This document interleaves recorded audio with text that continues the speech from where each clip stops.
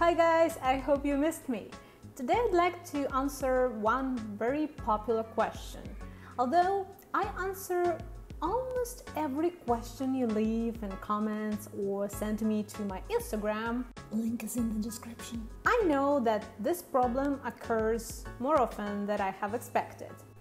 Sometimes when you're making your filter in, in SparkAR, it looks good inside the program, but when you export it and try to test it on your device, the textures look um, blurry and low quality.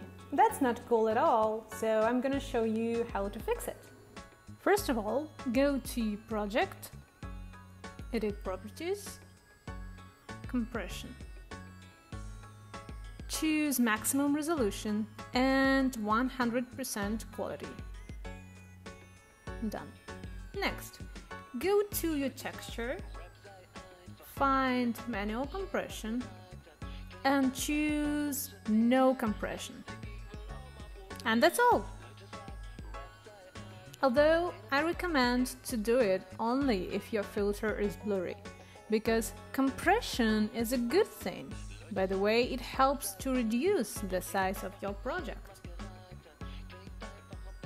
Because, you know, large projects cannot be exported and uploaded to Instagram or Facebook.